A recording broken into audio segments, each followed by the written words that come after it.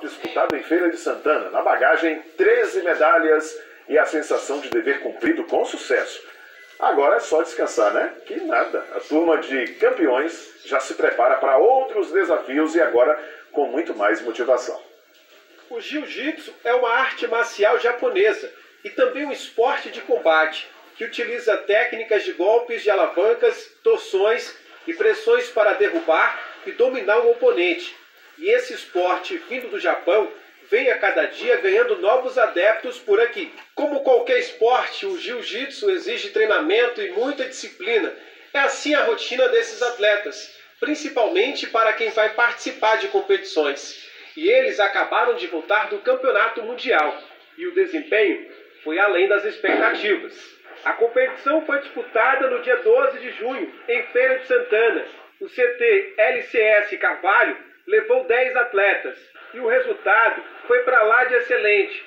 13 medalhas conquistadas. Eu não esperava que seria um resultado tão positivo como foi, né? A gente levou 10 atletas e voltou com 13 medalhas e um cinturão. Então foi um resultado super positivo. Para os atletas que treinam três vezes por dia, voltar com medalhas significa muito. É o caso de Rafik, bicampeão mundial, e agora conquistou duas medalhas, ouro e bronze. O campeonato mundial é um campeonato muito difícil, né? Onde só vai os melhores e a gente treina praticamente todos os dias para poder competir esse campeonato. Chega lá, ter a melhor, a melhor luta, a melhor medalha. Não é fácil, né? Porque são muitas lutas.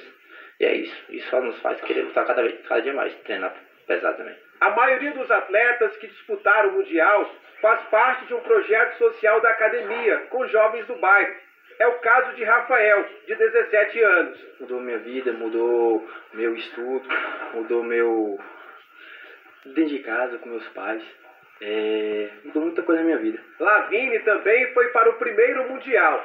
Com 14 anos, conquistou a medalha de prata. O primeiro Mundial para mim foi uma experiência nova, diferente, que foi o primeiro campeonato que não foi regional. Então, foi, apesar de ser uma luta difícil para mim, foi um, uma, uma medalha muito importante. Agora a preparação é para o Mundial em Fortaleza, em setembro deste ano. A gente pretende levar uma caravana para Fortaleza também, para participar da edição do Mundial lá, profissional da CBLP.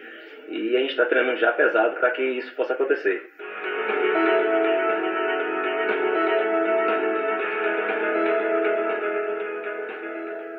Parabéns, né, para a galera por esse resultado maravilhoso em Feira de Santana e boa sorte, boa preparação aí para o Mundial em Fortaleza.